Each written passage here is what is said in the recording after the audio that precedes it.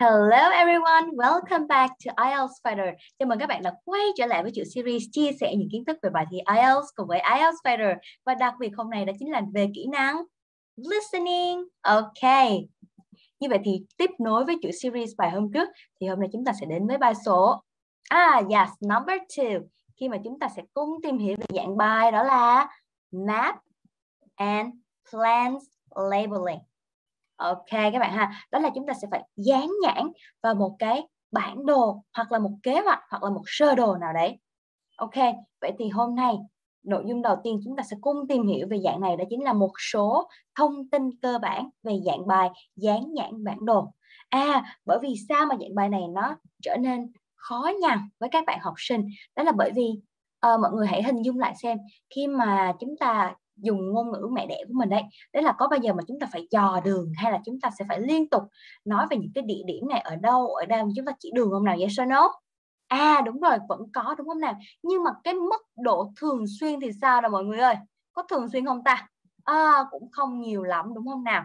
Chính vì thế gọi là nó đưa mình vào cái thế là chúng ta phải nghe về một nội dung mà chúng ta không thường không thường luyện tập không thường có nhiều thông tin về nó. Và chính vì thế cộng thêm những cái bẫy của IELTS nữa và nó làm cho dạng bài này trở nên khó nhằn hơn nhưng mà hôm nay sau khi tìm hiểu bài học này thì cô thơ mong rằng là chúng ta sẽ có thể vượt qua dạng bài này một cách thật là nhẹ nhàng các bạn nha Ok, một số thông tin về dạng bài Maps, Plans, Labeling. Thứ nhất, chúng sẽ thường xuất hiện ở section 2. Ok, và thường nó sẽ là một đoạn hội thoại. Được không nào các bạn ơi? Và về những chủ đề quen thuộc đúng rồi non academic vậy thì họ sẽ sử dụng những từ vựng học thuật hay là từ vựng uh, cơ bản bình thường này mọi người nhỉ? À đúng rồi đấy là daily vocabulary. Nhưng mà có chăng đó là họ sẽ họ sẽ đánh vào những cái common knowledge những cái thông tin uh, liên quan về background của mình này và họ sẽ làm cho nó rối tung rối vèo lên thay vì người ta nói là đi thẳng là tới rồi, thì người ta đánh mình bắt, mình đi một cái vòng. Đấy, thì đôi lúc cái việc đó cũng làm cho các bạn bị confused, bị nhầm lẫn. Được không nào? Và đặc biệt đó là order of appearance, thứ tự của cái việc bắt đầu. Ví dụ như là, chúng ta sẽ bắt đầu từ đâu đây? Bản đồ này có bao giờ nhất thiết là phải đi từ từ trên xuống dưới, hay là đi từ dưới lên trên, hay là trái sang phải, hay là phải sang trái? Thì cái này we are not sure. Chúng ta không chắc về điều đó và đặc biệt, đó là thứ tự đánh dấu trên bản đồ, nó cũng sẽ thiên biến vạn hóa luôn. Tức là nó sẽ không có theo một quy luật nào cả mọi người à. Đấy là không phải là theo chiều kim đồng hồ hay ngược chiều kim đồng hồ hay như thế nào cả. Mà cái này là tùy vào đề bài, tùy vào cái hình mà các bạn được đưa ra. Được không nào? Và một số các câu hỏi, ví dụ như là hãy dán nhãn về cái địa danh này hay là điền vào chỗ trống. Được không nào mọi người ơi? Cô cho mình một ví dụ nhé đây ok Callington. Đây là một biểu đồ à, sorry một cái plan một cái hình về một cái vụ accident một cái vụ tai nạn xảy ra ngay tại cái đường New vừa để vào Callington. Được không nào? Và họ cho mình tám câu à, ba câu hỏi sau đây. Number 8 traffic lights. Number 9 and number 10 Ồ, oh, như vậy thì bây giờ cái dạng bài này à họ cho A B C D. Và họ bắt mình là phải nghe và làm sao? Có thể write được chính xác cái chữ cái A to G một trong ba cái chữ cái này vào ba câu hỏi để bài cho. Đó là đâu là traffic lights? Đâu là petrol station? Và đâu là blue van? Uhm, khó nhồng nhỉ như vậy thì đối với bài này các bạn có thể thấy không gian của nó là một không gian không gian mở đúng không nào? Ở ngoài đưa mà đúng không nào mọi người ơi? Như vậy không gian mở không gian space như vậy mở nó không đóng này. Ok open space. Thêm đó nữa đó là các bạn sẽ phải nghe về những cái sự thay đổi. Được không nào? Đấy là ví dụ như là tôi đang đi trên đường này thì một cái xe nó ập đến. Đây sẽ là tôi bất thình lình tôi phải rẽ trái tôi phải rẽ phải. Như vậy là changes on the road. Đấy đó là một thông tin cho dạng bài maps. How about plan labeling? À thì đối với dạng bài uh, dán nhãn cái bản đồ hoặc là cái uh, kế hoạch đúng không bạn? Thì đây đây là một cái gọi cô gọi đây là một cái cách bày trí cho một cái thư viện ở trường đại học University Library Plan. Vậy thì trong cái plan này nhà mình sẽ làm những nhiệm vụ gì đây? Thứ nhất đấy là à, chúng ta phải hình dung đây là một cái bản layout cho một cái tòa nhà. Tức là sẽ có một cái cách bố trí của một cái tầng nào đó hoặc là một cái uh, building nào đó cái tòa nhà nào đó. Và bên trong đó chúng ta sẽ giống như chúng ta có thể đi tham quan chẳng hạn như vậy thì we are maybe we will go on a tour. Sẽ có một cái cô hoặc là một cái chú nào đó hoặc là một cái bạn nào đó sẽ dẫn mình đi tham quan vòng quanh chỗ này. Và nhiệm vụ của mình là mình phải nghe và mình xác định xem à chỗ này là phòng này, chỗ kia là phòng đó. Đấy, khó nhau nhờ. Vậy thì bây giờ để làm được cái dạng bài nghe này, thì cô và các bạn chúng ta sẽ cùng warm up our ears, tức là làm nóng đôi tai của mình bằng một vài bài nghe ngắn sau đây. Ok, hiện tại mọi người nhìn lên trên slide của cô nhé. Cô đang có một cái tape script cho một bài nghe giữa assistant và cô tên là Elizabeth. Và mọi người sẽ nghe để điền vào à, uh, okay, direction, tức là phương hướng mọi người nhé. Alright. Ready? Are you ready, guys? Let's get started. I'll make an appointment today. Fine. And now, can you tell me what happened exactly? I'm going to make a few notes. I was driving home from the swimming pool and I don't know Collington at all. So could you describe it for me? Where did the accident happen? on the road between Newtown and Callington. I was driving home from Newtown, heading towards Callington, and Okay, just let me draw the road layout. Right. Okay? When you leave Newtown, there's a sharp bend in the road, and then there's a railway bridge. Okay. And then about half a kilometer further on, there's a crossroad with traffic lights. And I was just in between the two when it happened. I wasn't going very fast. In fact, I definitely, So you've already gone over the bridge. yes, and I passed the park that's on the right hand side. And I was just approaching the petrol station. Where's that then? It's a bit further along on the opposite side. So on your near side then. Yes, I was approaching it. I saw a blue van coming towards me. The driver had stopped in the middle of the road. Was he indicating? Yes, he was waiting to turn into the petrol station, but then at the last minute, he decided to turn right in front of me. He must have thought he had enough time, but I had to swerve to avoid him, and I came off the road and landed in a ditch on the opposite side. Hmm. I don't suppose he stopped, did he? Oh, yes, he came over to see if I was okay, but he tried to say it was my fault, and then there was an Ừm, ok, mọi người có điền được ba từ này không nè? Như vậy thì the first one, what is it? That is Mm, on the right hand side. Như vậy thì bây giờ mọi người ngữ cảnh của mình đó là sao đây? Có một cô Elizabeth, cô gọi đến cho anh assistant và cô report lại báo cáo lại về một cái vụ tai nạn mà cô ấy vừa phải trải qua ở ngay cái trên đường à I was driving from Newtown cô ấy đang đi từ Newtown và đang hướng về phía Callington here Okay. và anh này bắt đầu mới vẽ ra cái layout của cái road này, đúng không nè? Ấy và sẽ có một vài cái thông tin, ví dụ như đây, ngã tư giao giữa đèn xanh, đèn đỏ này, ok? Tôi không có đi nhanh đâu, tôi đã qua được cái cầu rồi nè. Toàn những từ chỉ về phương hướng và cho các bạn biết là à chúng ta đang ở đâu? Chúng ta đi từ đâu? Và bây giờ chúng ta đang ở chỗ nào rồi? Đúng không nè? À đi qua cây cầu xong rồi đã đi qua được cái park luôn, ngay bên tay phải, được chưa nào? Sau đó là approaching đó là đang tiến đến petrol station.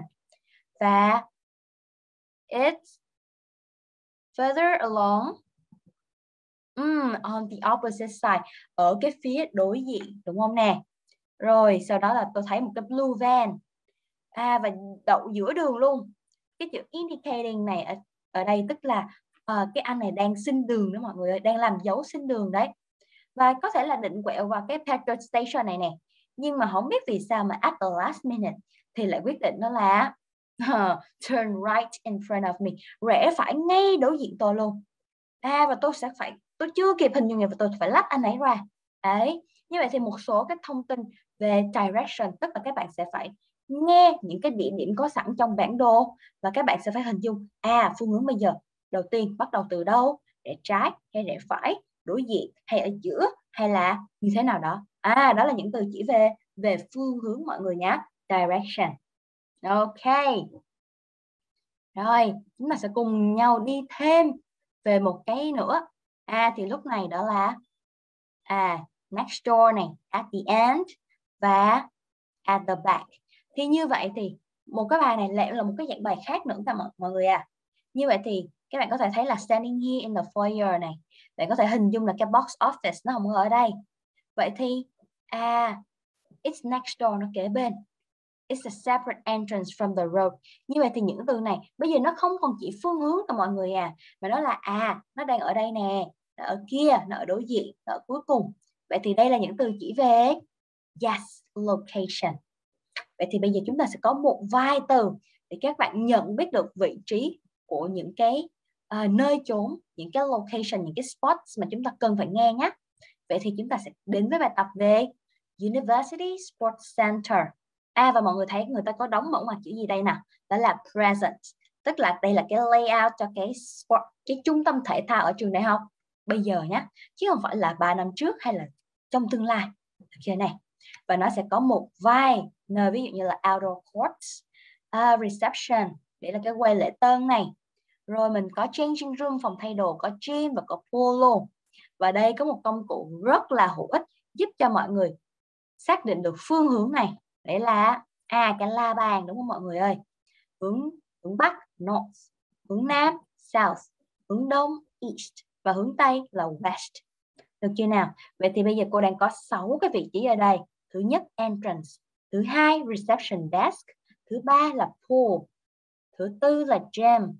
Number five là pool luôn này. Và number six đó là seating area, đó là khu vực ngồi chờ gọi là khán đài đấy mọi người à vậy thì tương ứng cô sẽ có một vài từ để chỉ về vị trí. Mọi người hãy nghe và điền vào chỗ trống giúp cô nhé rồi, hình dung luôn, nhìn nhìn vào và thấy đây đây đi từ lối vào này. Đây cái entrance. Thì như thế nào với cái reception desk? Đây, cái lối vào here với cái reception desk. Nó có phải là nó đối diện không nào mọi người ơi? Đó. À in front of. In front of the reception desk vậy thì tiếp theo. Vậy thì cái reception desk nó đang như thế nào với cái lối vào? Mọi người hình dung nhá. Nếu mà mình được dùng chữ này ở behind thì nó gọi là nó quề vốn phải đúng không này như vậy thì cái bàn lễ tân nó đang quay mặt về hướng của của cái lối vào. Vậy đó là dùng từ facing ok. Next one. I have the pool. Rồi cái bể bơi à, ngay trung tâm của sự chú ý luôn đúng không này như vậy thì em nó đang ở. Yes. Ừ between phải không no, so where? In the middle, very good. Nó ở giữa, hoặc là nó ở ngay trung tâm. Như vậy ở đây chúng ta có hai cụm nhé đó là in the center of, hoặc là in the middle of. Ok. Next one, number four. Thì mình có cái gym này với là cái pool. Có phải là mình phải đi qua cái pool rồi mình mới tới được phòng gym đúng không mọi người nhỉ? À vậy thì cái gym nó đang nằm ở trước hay nằm sau đây ta? Nằm ở yes nằm ở phía sau behind. Được không nào? Rồi câu này trời ơi thấy hai nơi trốn nối nào chữ này thì chỉ có thể là một giới từ nối ở giữa đó là between. Như vậy cái pool nó sẽ nằm giữa changing room và um, ok tiếp luôn. Và cuối cùng đó là cái sitting area thì nó sẽ kế bên cái pool next to hoặc là by mọi người ha. Rồi, đến đây, vẫn chưa có gì mới đúng không nào? Chúng ta đang ôm lại một số giới từ chỉ về vị trí. Thì bây giờ, next one, I have this one. Rồi, lại là một cái hình. Bây giờ không không còn là present nữa. Không còn là một cái sport center hiện tại, mà bây giờ đó là kế hoạch cho tương lai. It's a future plan. Vậy thì cái plan lúc này sẽ có rất là nhiều sự thay đổi đúng không mọi người nhỉ? Vậy thì cái sport shop đâu rồi where there it is đây đúng không này như vậy thì nó đang nằm ở bên đa, tay nào đây mọi người nhỉ? Trái hay phải đấy? À bên tay phải. Thì thông thường mình chỉ cần nói là to the left hoặc là to the right đúng không này Tuy nhiên chúng ta biết đến bài thi IELTS là một bài thi đánh đố với rất nhiều à, rất nhiều cách paraphrase mà mọi người cần phải quen thuộc. À, và người ta sẽ dùng một từ đồng nghĩa với lại cụm to the left hoặc là to the right bằng cách đó là on the left hand side. Như vậy thì cái cái gọi là cái luật thi ở đây, cái luật chơi ở đây đó là người nào nghe được và biết được nhiều synonyms và nhiều paraphrase và tránh những cái distractor những cái bẫy thì người đó sẽ sẽ ăn điểm nhiều hơn. Đó cái rule nó là như vậy. Tiếp luôn nha. Bây giờ cái lối vào nè cái lối vào thì nó có cái quán cà phê. Vậy thì từ lối vào thì mình phải đi như thế nào thì mới là cái quán cà phê ở đây này mọi người nhỉ? Như vậy đó là to the ngược lại với left hand. Yes right hand side. Very good everyone. Tiếp luôn. Bây giờ à, bây giờ các cái entrance thì mình cái cà phê thì nó như thế nào với bạn? Thì đó là à đi qua gọi là đi đi vào. Vậy là passing through the the entrance. Thì mình sẽ thấy turn right. Rẽ phải đi. Và cái cafe thì nó sẽ ngay lập tức nó ở phía đối đối diện bạn, đúng không? In front of you. Rồi, tiếp đến chúng ta thấy cái leisure pool. Từ này mọi người có thể đọc là leisure hoặc là leisure đều được nhé chúng ta sẽ có hai cách đọc. Vậy thì cái leisure pool nó đang như thế nào với cái sports center? Mà về hướng của cái dance studio? Đây, em ở đây. Rồi một anh thì bên phải, ngoài cùng luôn. Còn một anh bên này thì trái mà ngoài cùng luôn. Như vậy gọi là ở hai đầu nỗi nhớ đúng không nè? Ok, như vậy chúng ta sẽ dùng từ đó là ở phía bên kia nhá. On the other side. Được không này đây, take note vào nha. Nếu mà có cụm từ nào mà các bạn thấy mới lạ với mình. Ok. Rồi, chúng ta có quá trời cái changing room luôn. Nhưng mà nhờ đây chữ large, tiếng từ large, chúng ta biết cái phòng mình bự bự nhá just, như thế nào với cái cafe đây? À đúng rồi, ở phía sau đúng này? Just beyond the cafe.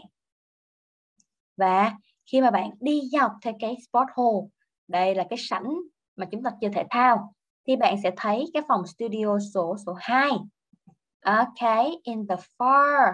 Rồi như vậy thì trước tiên, để là walk alongside, đi dọc theo mọi người ha. Chúng ta sẽ in the far corner of the building. Đây. Lằng nhằng nhờ. Quá trời mô tả luôn, rất là dài luôn. Như vậy thì đi qua, thay vì chúng ta nói là à bây giờ đi đi vào trong đi, rồi rẽ phải, rồi rẽ trái, rồi rẽ phải đi, là tới cái dance studio, thì người ta không chơi cái trò đó bạn ơi. Người ta thấy, trời, game vậy thì dễ quá, đúng không? Vậy thì người ta sẽ nói à như vậy thì bạn hãy đi dọc theo cái spot hole đi, xong rồi bên cái studio số 2 nó nằm ở corner, một cái góc của tòa nhà đó, ờ, như vậy thì là chỗ này. Được chưa mọi người ơi? Rồi và cuối cùng vẫn tiếp tục walk hoặc là go straight along the corridor.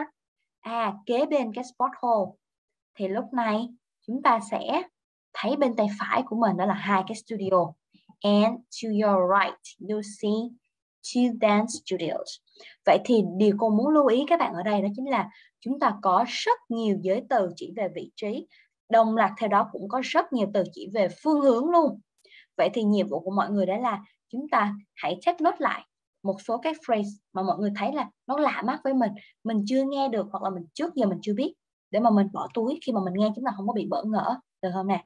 Đây, on the right hand side to the left, on the left hand side, on the other side, hoặc là đi qua này, pass through, hoặc là đi thẳng này, go straight, rất nhiều từ mà mấy mốt có cái dạng bài đi qua cầu là chắc chắn go over nữa. Còn cái chữ over nữa nha along nên chỉ mới là dọc theo thôi hay là pass through là đi xuyên qua thôi. Đây. Tới đây được chưa mọi người ơi? Nếu mà mọi người có câu hỏi gì thì hãy comment bên dưới video giúp cô nhé. Đây nói có sách mắt có trứng. Ngay lập tức chúng ta đến với một cây cầu. À đây chính là một cái à, bản đồ đúng không? Của cái Stockford vào năm 2010 vậy thì cái vấn đề ở đây cô muốn giới thiệu thêm một vài cái thông tin. Đây mọi người thấy không? Nhưng mà thì nhìn ở đây nó khác với bài những cái bài hồi vừa rồi. Ở chỗ nào mọi người nhờ? Uhm, đúng rồi mọi người nhìn kỹ nó đi. Cô gợi ý nha. Bây giờ mình phải nhìn từ đâu đây? Đó mọi người gợi dựa vào câu hỏi của cô đó.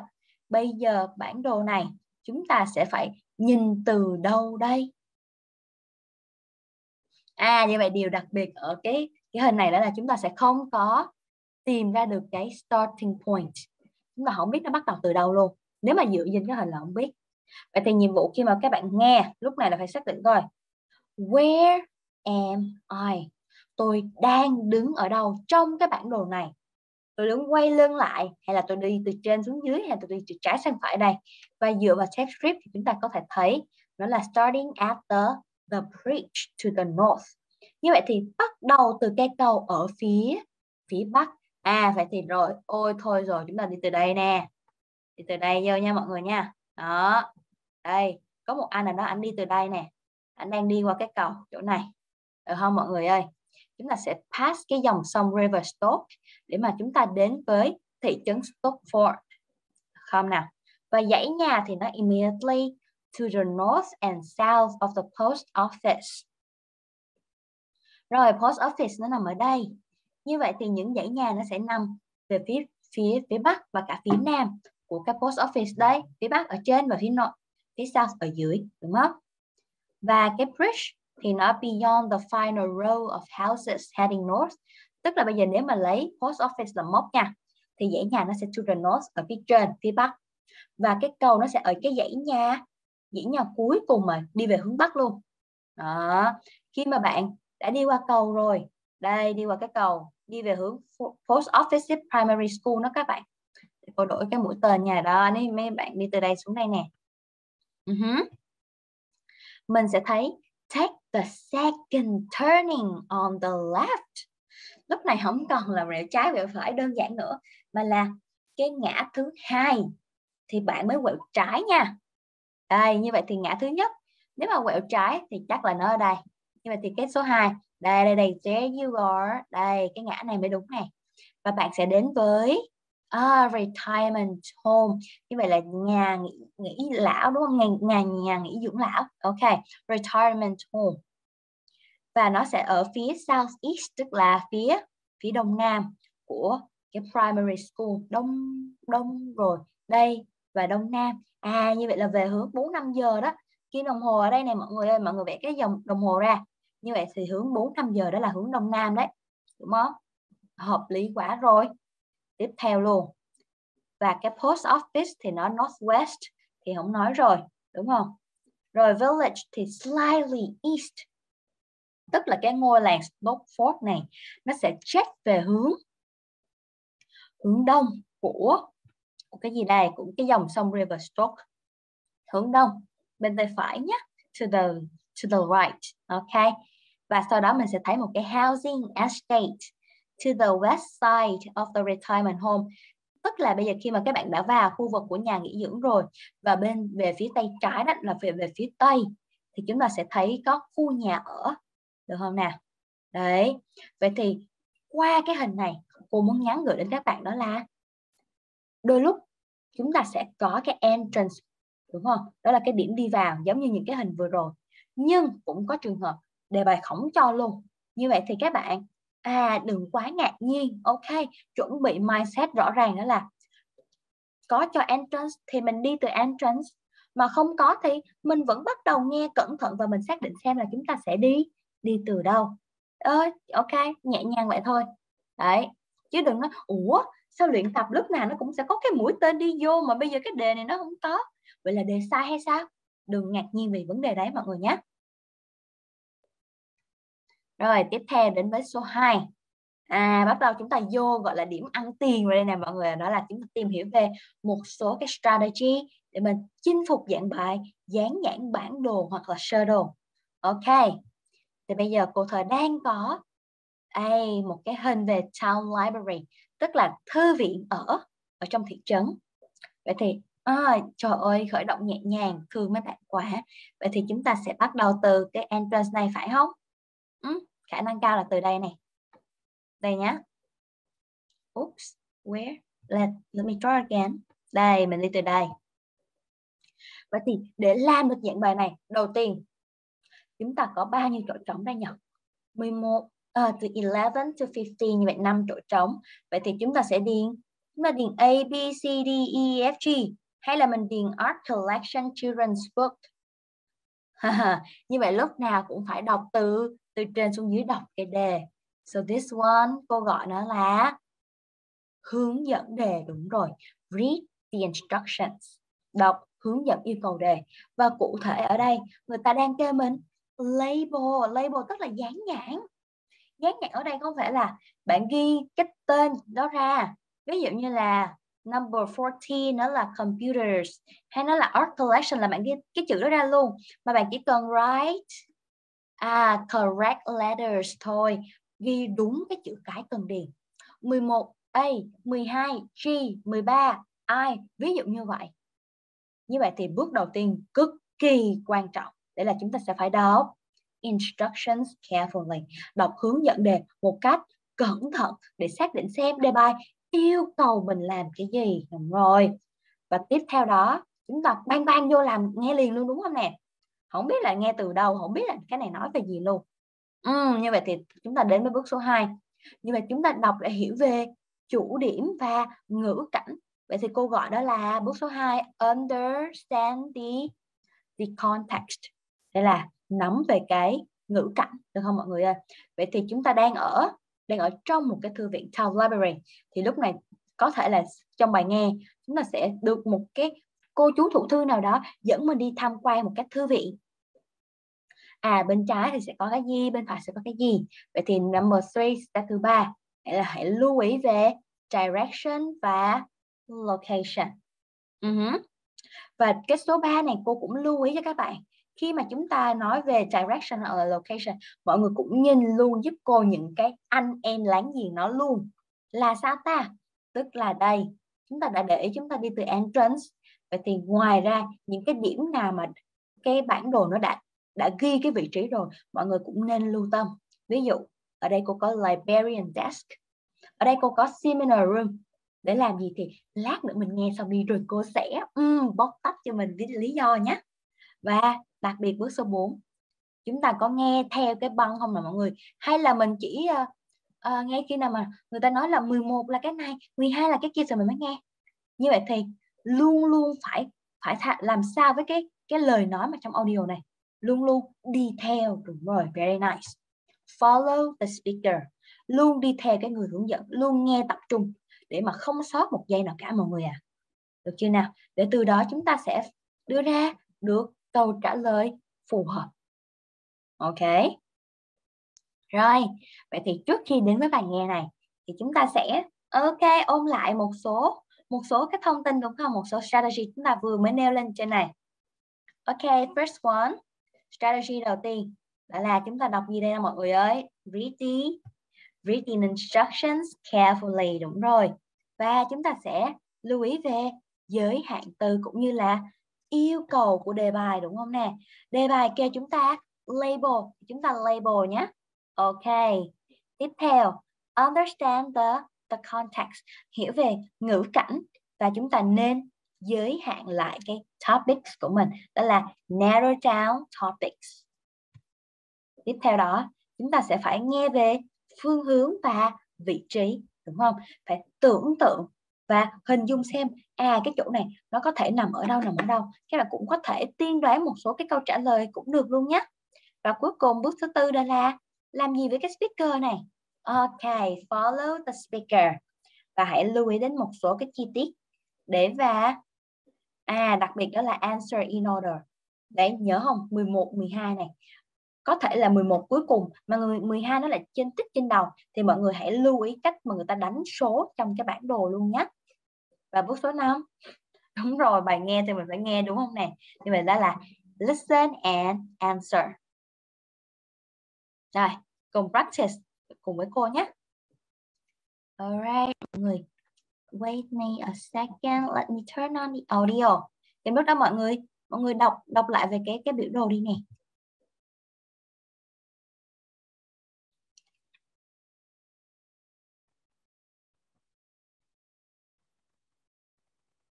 Visiting the library. Can you hear? À, mọi người nghe được rõ đúng không? Okay, everyone. So, here we are at the entrance to the town library. À, ok. Như vậy, câu đầu tiên đó là Here we are. Where are we? We are at the the entrance of the library. Thấy chưa? Đó. Lúc nào người ta cũng sẽ cho mình biết là chúng ta sẽ phải nghe từ đâu. Được chưa nào? Và tương ứng với năm vị trí thì chúng ta sẽ có lần lượt các letter ở đây. Lưu ý nha. Nhắc lại này. Bước đầu tiên, instruction. Để chúng ta biết đây là chúng ta chỉ phải ghi letter, ghi chữ cái ABC thôi. Thứ hai, đấy là chúng ta sẽ xem cái context nó là về town library cái thư viện nha thư viện thì sẽ có những phòng gì đây đó chúng ta hình dung ra một số cái thông tin mà chúng ta có thể sẽ phải nghe được chưa nào bước số 3 để là lưu ý về direction và location. Thì cụ thể khi mà entrance đi vào thì chúng ta sẽ gặp anh là variant desk. Sau đó 11 12 thì nó đang ở bên trái hay bên phải nè đúng không? Xong rồi mình có cái khu vực library ở đây nè. Rồi chúng ta có seminar room ở đây nè. À, và chúng ta có library library office ở đây nè. Đó đó là bước số 3 bước số 4 đó là các bạn sẽ phải um, làm gì đây. Follow the speaker. Tức là từ entrance. Ờ, các bạn phải luôn bám sát theo cái người nói để chúng ta không bị chệch khỏi đường ray nhé. Và cũng thêm một câu trước khi mà các bạn nghe bài này luôn. Đấy là cô muốn remind lại mình đó là giả sử mình nghe chưa được câu này chờ nó qua đấy bạn ơi. Đừng níu kéo, đừng lưu luyến, đừng vấn vương. Ok, chưa nghe được câu này, qua câu khác liền. Nhớ nha. Vậy thì bây giờ chúng ta hãy cùng cùng luyện tập những bài này và hãy điền giúp cho cô thơ vào. Chỗ trống from 11 to 15 okay yeah let's go My name is Anne, and I'm the chief librarian here. And you'll usually find me at the desk just by the main entrance here. So, I'd like to tell you a bit about the way the library is organised and what you'll find where. And you should all have a plan in front of you. Well, as you see, my desk is just on your right as you go in. And opposite this, the first room on your left has an excellent collection of reference books and is also a place where people can read or study peacefully. Just beyond the librarian's desk on the right is a room where we have up-to-date periodicals such as newspapers and magazines. And this room also has a photocopier, in case you want to copy any of the articles. If you carry straight on, You'll come into a large room and this is the main library area. There is fiction in the shelves on the left and non-fiction materials on your right and on the shelves on the far wall there is an excellent collection of books relating to local history. We're hoping to add a section on local tourist attractions too later in the year. Through the far door in the library, just past the fiction shelves, is a seminar room, and that can be booked for meetings or talks. And next door to that is the children's library, which has a good collection of stories and picture books for the under 11s. Then there's a large room to the right of the library area. That's the multimedia collection, where you can borrow DVDs and so on, and we also have CD-ROMs you can borrow to use on your computer at home. It was originally the art collection, but that's been moved to another building. And that's about it. Oh, uh, there's also the library office on the left of the librarian's desk. Uh, OK, now, does anyone have any questions? Uh, yes, thank you, sir. Mm, okay, how are you with this one?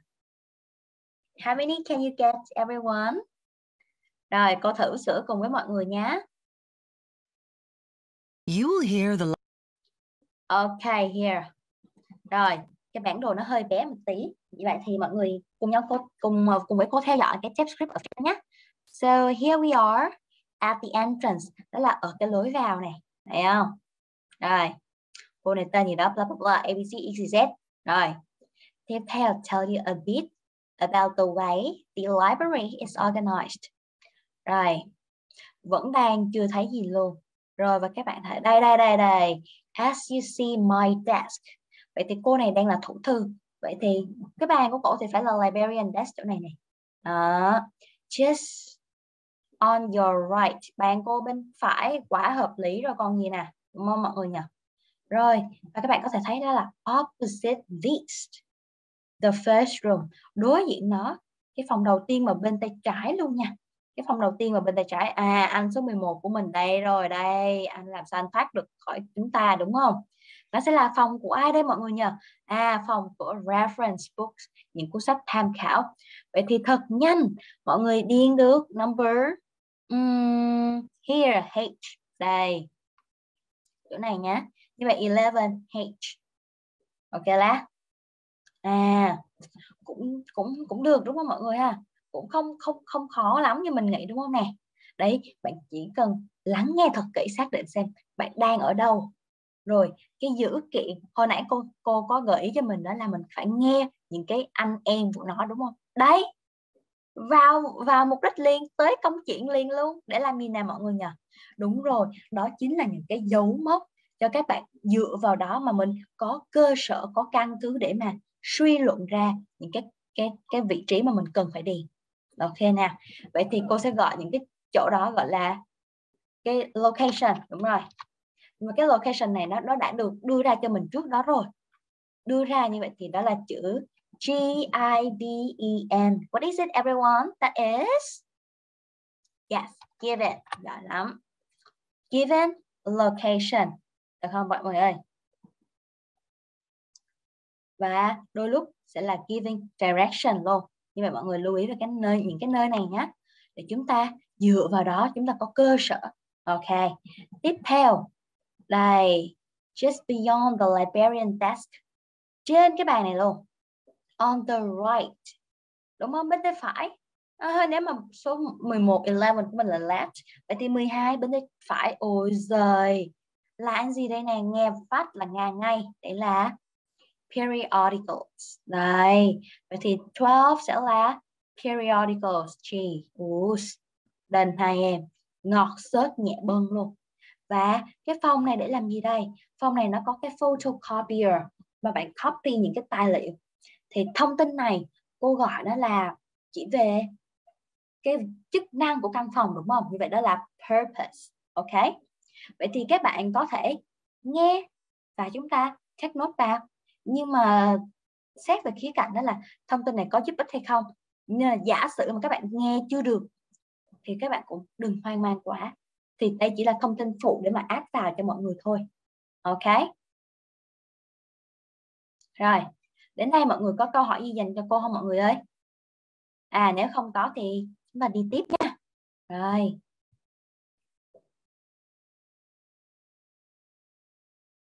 Ok, this one cái chép script nó hơi dài. Chính vì thế mà các bạn có thể tham khảo lại cái hình bên này sau nhé. Đấy, ok. If you carry straight, như vậy là mình nhớ là 11 bên trái này 12 bên phải này. Đó, nhìn lại cái hình em cũng xem à sau đó là tới 13 xong rồi trên cùng mấy mấy bên tay phải, đúng không? 12 giờ 14 này. Và ở hướng cỡ 1 2 giờ gì đó, thì nó sẽ là câu số 15 rồi, vô luôn. Main library area, đây do nãy mình gạch chân cái em đó rồi. Đây, mình mình bắt đầu tiến sâu vào cái library này. Thì mình sẽ thấy đó là there's fiction in the shelf, đúng không? On the left, bên trái này. Bên phải sẽ là non-fiction materials. Và chúng ta sẽ thấy đó là local history. There you go. Vậy thì đằng sau cái library area thì nó sẽ là um, library li local history cái cái section dành cho thư viện địa phương. Và mọi người để ý này lúc sau nó cũng sẽ nói về local tourist attraction có luôn. Nó nằm trong cái letter A to I của mình đó nhưng mà cái chỗ này có phải là local tourist attraction hay không? Thì mọi người cần phải nghe kỹ bởi vì người ta nói đó là we are hoping. À, như vậy là chúng tôi chỉ hy vọng thôi. Hy vọng là sẽ sẽ thêm cái này vào. Vào khi nào ta? Vào năm sau. Còn hiện tại bây giờ thì nó đang là nơi của local history collections. Được không nè? Đó như vậy thì nếu mà bạn nghe không kỹ mình thấy có nghe lùng bùng gì ủa vừa mới nói history, lại qua local tourist. Vậy thì chọn cái nào? Là ngay lập tức dính trấu liền. Là ngay lập tức bạn bạn bị confused ngay. Vậy thì thứ nhất lưu ý cho cô cụm từ, we are hoping và later này. Như vậy, đây là thông tin để cho mình biết đó là à cái này không phải là thông tin thông tin chính thức. Nó chỉ là một cái mong ước, nó là một cái distractor để thêm vào cho mình. Mình rối lên thôi. Còn mình biết rồi thì mình không bị rối. Vậy đó. Ok next one. Rồi mình sẽ thấy. À, good collection. Some, đây đây là cái phần chức năng luôn này. Purpose. Và chúng ta sẽ thấy nó có một cái large room to the right. Thì cái phòng này gọi là multi media collection. À, và nơi này thì bạn có thể borrow videos. Đây cũng có thể là một cách để cho các bạn lập luận luôn. Giả sử bạn chưa nghe ra được cái chữ multimedia nhưng mà may quá nghe được chữ borrow videos. Như vậy thì lúc này bạn sẽ đối lại đối chiếu lại với lại uh, những cái vị trí từ letter A to I. Và bạn suy luận xem của cái phòng nào để mình borrow video DVDs được đấy ta? Vậy thì à chỉ có thể là multimedia phòng về truyền thông rồi đúng không nè? Vậy thì thật nhanh. Chúng ta xem lại nhé. 11 rồi 12 rồi 13 nó là local history, nhớ không nè đó, nếu như mà ngay lập tức mà bạn chọn như tourist information là mình bị rơi vào bẫy rồi, đúng không ừ. vậy thì, đó đó chính là một số cái lưu ý cho các bạn nha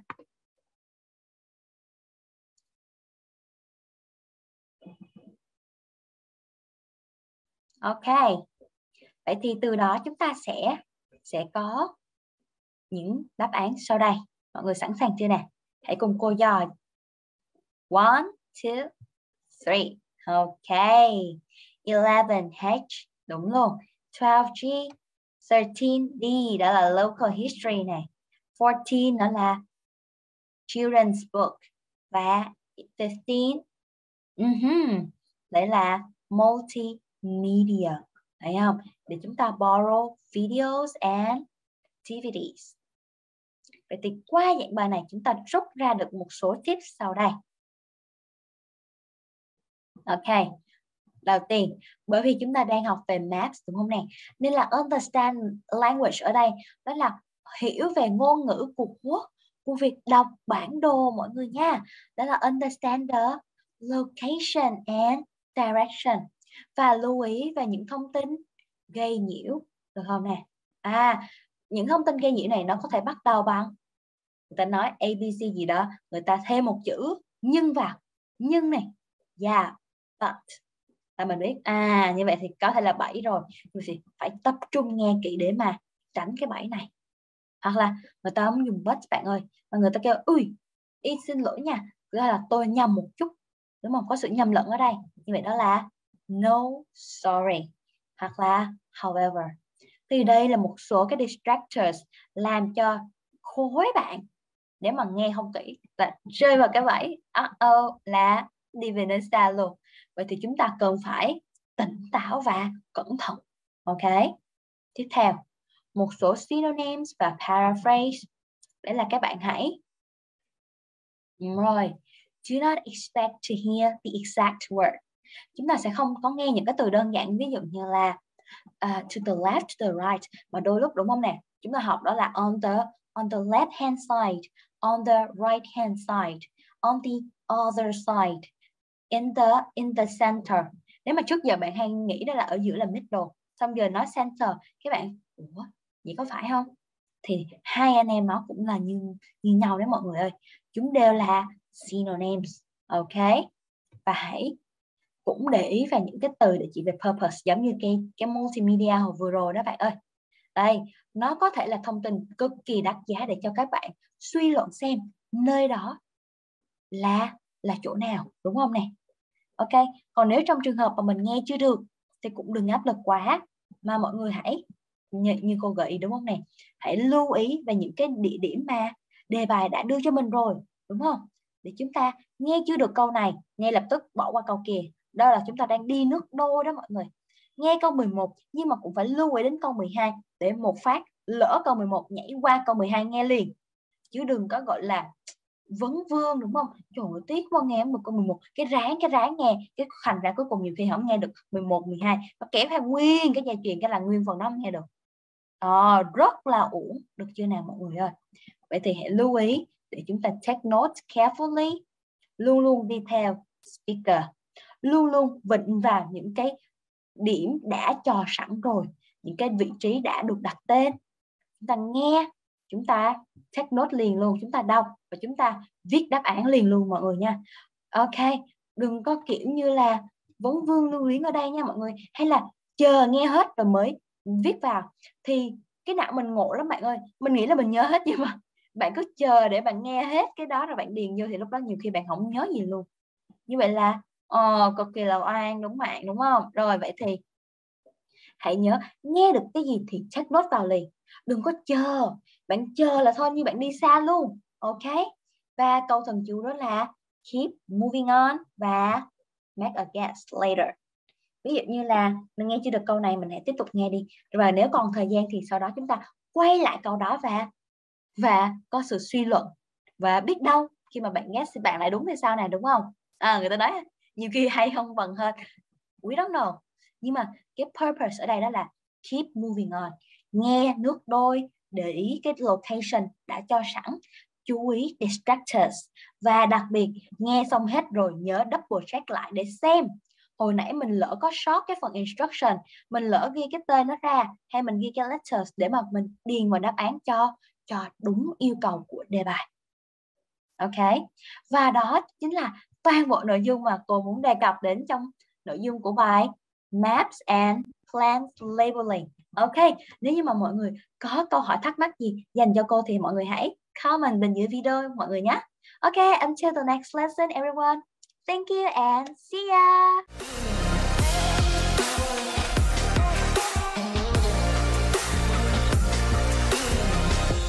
IELTS Fighter, tiên phong phổ cập IELTS cho người Việt.